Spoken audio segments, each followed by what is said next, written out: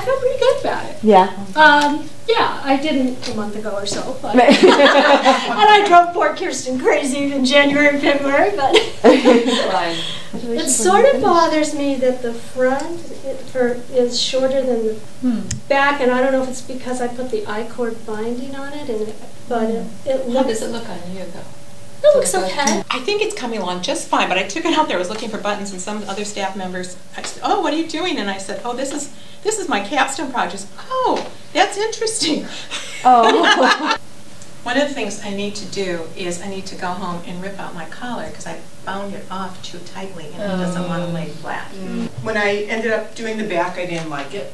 Mm. So then I did the front with narrower stripes, and I finished that, and I really didn't like it either. So then I started over. Wow. I have a basket of very little balls of yarn, which I used when I was trying the short rows. So I did, you know, when I was all my attempts on the short rows. I'm using Eco Wool.